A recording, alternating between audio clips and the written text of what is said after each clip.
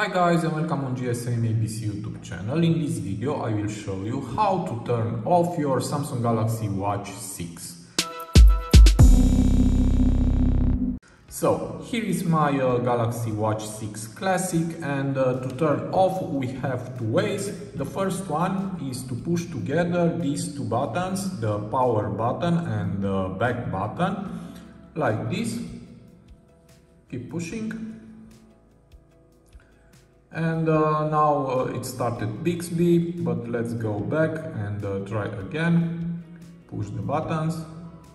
And uh, now you can uh, power off your phone, just uh, tap here and that's all.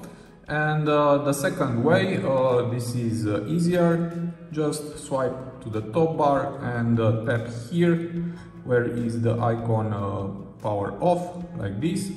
And now do it again and uh, that's all.